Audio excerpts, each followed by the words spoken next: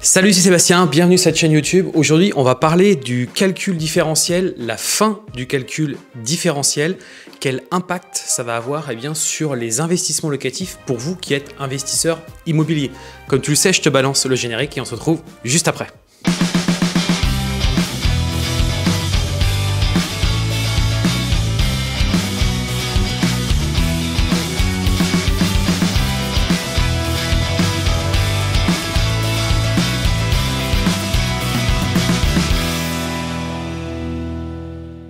Alors avant de commencer, je vais t'inviter comme d'habitude eh bien, à laisser un gros pouce bleu sur cette chaîne YouTube. Tu verras, c'est une chaîne YouTube où on parle d'immobilier, d'investissement locatif, de sous-location, de conciergerie, on parle aussi de business parfois. Donc si c'est des sujets qui t'intéressent, je t'invite tout de suite à t'abonner. Tu vas découvrir un bouton en bas de cette vidéo, tu t'abonnes et comme ça tu es notifié les prochaines fois que je vais te livrer des vidéos sur cette chaîne YouTube. Avant de commencer, je vais t'offrir eh bien tout simplement une formation gratuite sur comment te lancer dans la sous-location professionnelle immobilière. Tu vas découvrir une formation qui dure plusieurs heures que tu vas pouvoir découvrir dans la partie commentaires. Et si tu souhaites toi aussi créer un business prochainement, eh bien je t'invite à ma prochaine webconférence gratuite que je vais tenir dans les prochains jours. C'est pareil, tu découvriras dans la partie description un petit lien pour t'inscrire, c'est totalement gratuit. Donc aujourd'hui, on va parler eh bien du calcul différentiel. Alors on va rappeler un petit peu l'origine de tout ça et puis reste bien jusqu'à la fin de cette vidéo parce que justement après on va passer sur mon tableau. Je t'ai préparé eh bien un calcul pour te faire voir exactement avec des chiffres bien précis, des exemples bien précis pour que tu comprennes bien justement l'impact que ça a et qu'est-ce que c'était finalement que ce calcul différentiel si tu ne savais pas à quoi on faisait euh, donc allusion. Donc ce qui se passe, c'est eh tout simplement, c'est que le Haut Conseil de stabilité financière, donc le HCSF, HCSF, et eh bien tout simplement, c'est lui qui finalement dicte un petit peu les différentes euh, règles que doivent suivre notamment les établissements bancaires, donc ta banque, hein, pour faire simple. Et du coup, eh bien, ils sont en train de leur préciser que le calcul donc en méthode donc différentielle est tout simplement terminé ou sera terminé dans les prochains mois. Alors tout dépend à quel moment tu verras cette vidéo, bien évidemment. Mais en gros, ça veut dire que ce calcul-là ne sera plus applicable et on va appliquer la méthode du calcul classique et bien évidemment, pourquoi je dis tout ça? Parce que c'est du coup pas avantageux pour nous en tant qu'investisseurs. Puisque le calcul, eh bien, euh, donc euh, la méthode de calcul différentiel était une méthode qui était très avantageuse pour les investisseurs immobiliers. Tout simplement parce que cette méthode-là, et on va le voir juste après, hein, bah, reste bien jusqu'à la fin, on va voir exactement avec des exemples bien précis, bien chiffrés, eh bien tu verras que cet exemple-là euh, te démontre bien que eh bien, ce calcul-là est beaucoup plus avantageux, tout simplement. Et donc, ça veut dire qu'on peut multiplier les investissements locatifs sans qu'on dépasse le seuil d'endettement des 33%. Puisque, eh ce haut conseil, tout simplement, est là pour euh, eh euh, expliquer les différentes règles qu'on doit suivre, et notamment pour les établissements bancaires, pour déterminer ce seuil d'endettement. Et il est impératif que le seuil d'endettement ne dépasse jamais les 33%. Mais en fonction de la méthode de calcul qu'appliquaient les établissements bancaires, donc les banques, eh bien tout simplement, on pouvait multiplier des projets immobiliers, des projets d'investissement locatif sans atteindre ces fameux 33%. Et ça, c'était vraiment cool. Pour ceux qui font l'investissement locatif, ils vont bien comprendre de quoi je parle. Et on va le voir juste après, justement, avec un exemple bien chiffré. Et donc du coup, eh bien, on se retrouve avec uniquement la méthode de calcul classique, traditionnelle, où finalement eh bien, les projets immobiliers sont englobés euh, dans la méthode de calcul avec eh bien, nos sources de revenus et avec nos charges, notamment notre, notre, euh, notre résidence principale ou peut-être le loyer qu'on a à payer chaque mois. Et du coup, eh bien, quand on met tout ça dans, ensemble, finalement, au même niveau, eh bien, on, voit, on voit très bien qu'on qu'on dépasse très rapidement les 33%. Alors qu'au contraire, l'autre méthode, donc la méthode du calcul différentiel, est une méthode où on calcule d'abord eh bien, l'immobilier, donc les investissements locatifs qu'on fait, est-ce qu'ils sont générateurs de cash flow positif ou cash flow négatif et ensuite, par rapport à ce que ça génère, eh bien, on rapportait ça à, notre, à, notre, euh, à nos revenus personnels et à, nos, à notre résidence principale ou au loyer qu'on doit supporter chaque mois pour déterminer eh bien, le, euh, donc le seuil d'endettement. Et donc, bien évidemment, tu as bien compris que si tous tes projets IMO sont isolés dans la méthode de calcul et qui sont rapportés finalement tout à la fin dans, la, le calcul donc, du seuil d'endettement, bah, bien évidemment, si tu as fait plein de projets immobiliers qui sont rentables et qui génèrent du cash flow positif, eh bien, tu as bien compris que tu pouvais en multiplier autant que tu voulais et ça venait pas vraiment impacter de manière significative eh bien, ton seuil d'endettement personnel. Alors que là, dans l'autre méthode, on englobe tout ensemble dans le calcul. Et donc, bien évidemment, c'est pas du tout intéressant. Donc les conséquences de ça, c'est quoi? Eh bien tout simplement, c'est qu'on va se retrouver avec cette méthode-là, et donc je peux te dire, je peux te l'assurer que ça va être très compliqué pour les investisseurs immobiliers pour eh bien, aller chercher de nouveaux projets. Très clairement, ça va être beaucoup plus difficile parce que eh bien, euh, cette méthode-là euh, ne sera plus possible, et donc dans le calcul, eh bien, on va dépasser le seuil d'endettement des 33%. Et là, pour le coup, ça va être un gros frein. Donc moi, je pense qu'il y a des choses qui vont quand même se passer dans les prochains mois, prochaines années, parce que là, très clairement, euh, bah, ça met un gros coup de frein. Euh, on va pas se mentir, sur les investissements euh, immobiliers. Alors comment concrètement ça va euh, donc se, dérouler? On n'en sait trop rien.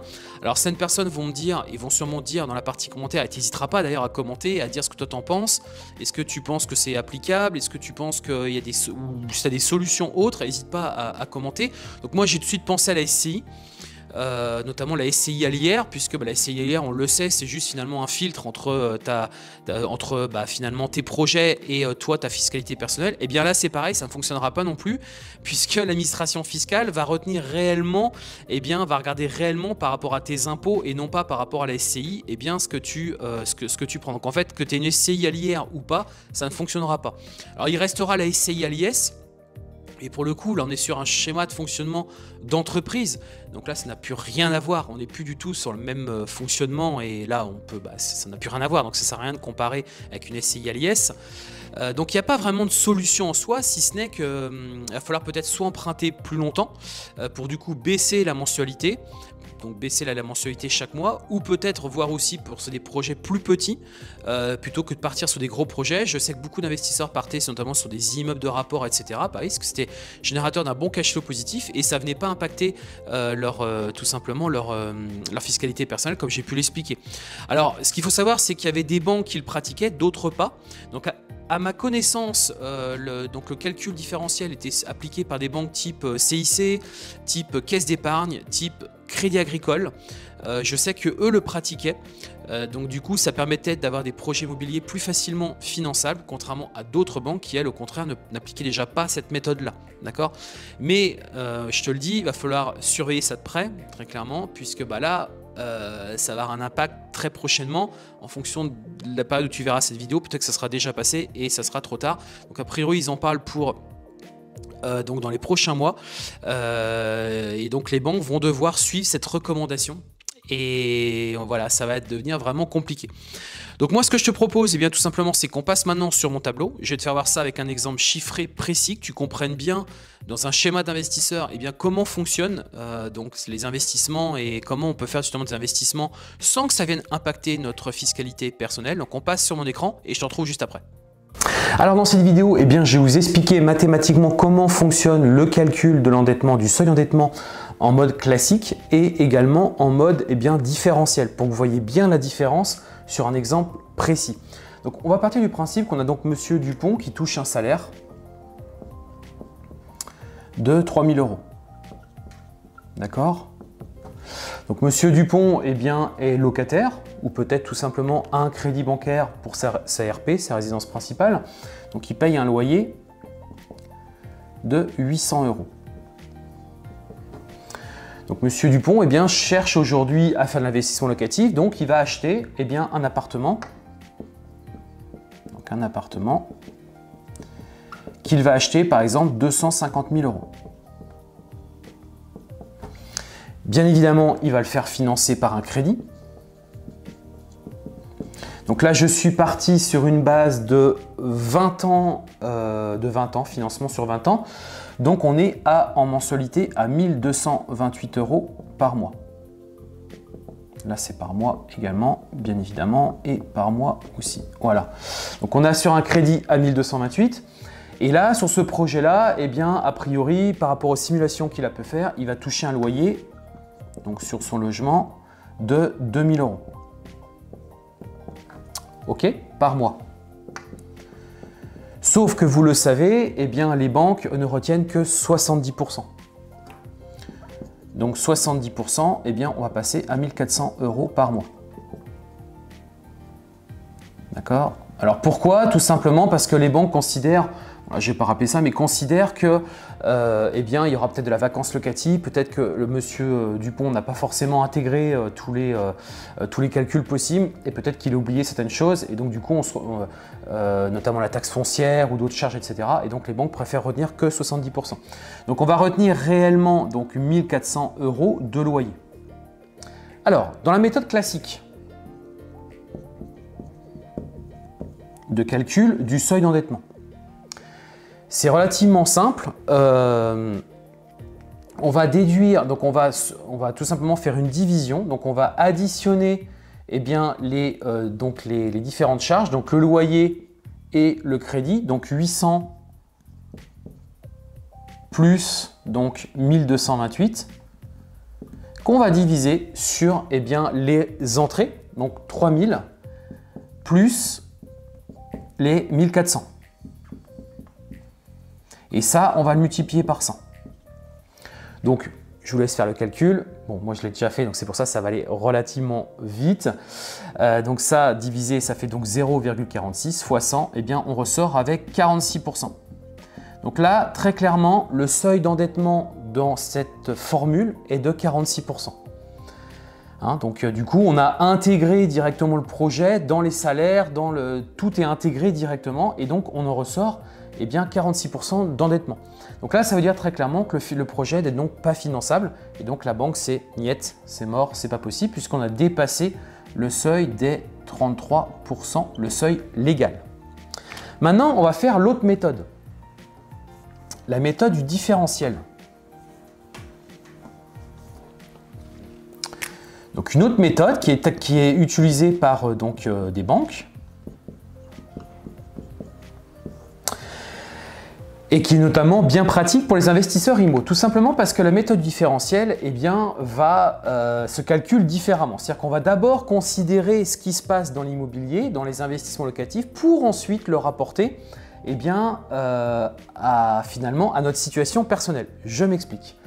On va d'abord calculer le cash flow. Est-ce qu'on gagne de l'argent? Est-ce qu'on perd de l'argent avec le projet IMO? Donc on reprend notre loyer, les 1400, donc on touche 1400, moins le crédit bancaire à supporter.